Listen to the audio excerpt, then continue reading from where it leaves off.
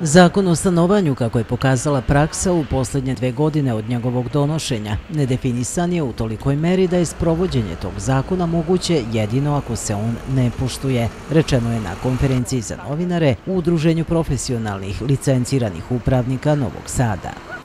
Što se tiče profesionalnih upravnika, zakon je napravljen tako da profesionalni upravnici, mnogi koji imaju licence, e, faktički ne rade i niti mogu da rade, iz razloga što bi morali da budu organizatori profesionalnog upravljanja i uveden je pojam organizatora profesionalnog upravljanja, a opet kada se svi registruju, kada u vašim zgradama registrujete ovaj, upravnika, nigde se ne spominje taj organizator profesionalnog upravljanja.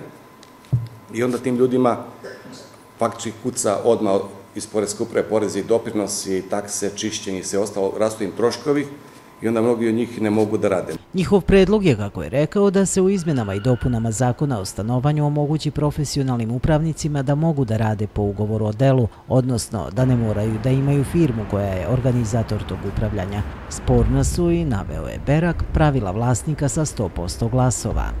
Pravila vlasnika usvojiti sa 100% glasova, e, to je stavljeno da se nikada ne bi usvojila, jer je apsolutno nemoguće e, sve možda u Albaniji Envera Hođe u ono vreme da imate 100, 100% glasova, znači potpuno nemoguće, ide plasirano.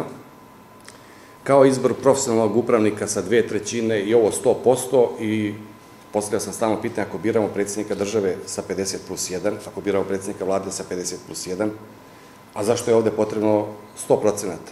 Zašto je potrebno dve trećine glasova?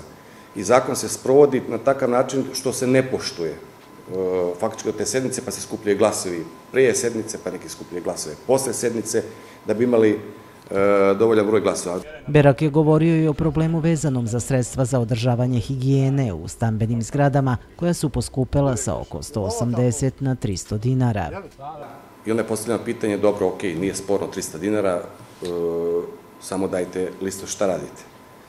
Koja sredstva koristite i kažem dajte nam bezbednostne listove ono što je bilo frapantno, imamo potvrdu mailova, imamo potvrdu i upravnika koji je to tražio i izveštava me ovaj, sa mailovima, e, bukvalno niko nije imao bezbednostne liste. Bezbednostni list ili MSDS lista je nešto što je zakonska obaveza. E, kad koristite hemiju, treba da se zna koja je to hemija, ako je domaći proizvođač, a šta je on to stavio unutra.